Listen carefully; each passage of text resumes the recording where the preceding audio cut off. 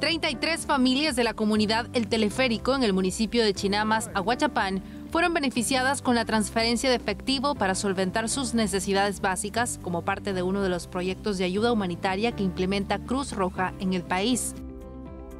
Este proyecto está ejecutándose en 15 comunidades del departamento de Aguachapán. Con la transferencia de efectivo de esta iniciativa se pretende priorizar las necesidades más urgentes de personas en vulnerabilidad. Además, dinamiza la economía local.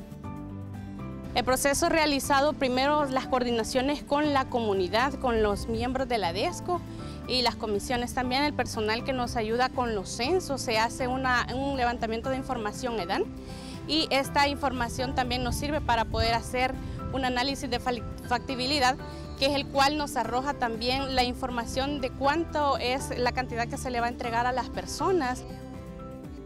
Marjorie Mejía y Mario Corado, habitantes de la comunidad El Teleférico, se mostraron agradecidos con este apoyo que proporcionó Cruz Roja.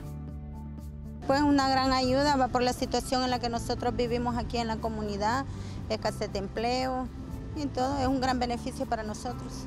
Con esta ayuda, pues nosotros nos sentimos felices. Lo voy a utilizar para comprarle sus alimentos a, los, a la familia y para mí también porque lo necesito. Este es un nuevo método humanitario de Cruz Roja Salvadoreña para brindar ayuda a las comunidades que se ven afectadas por cualquier tipo de desastres.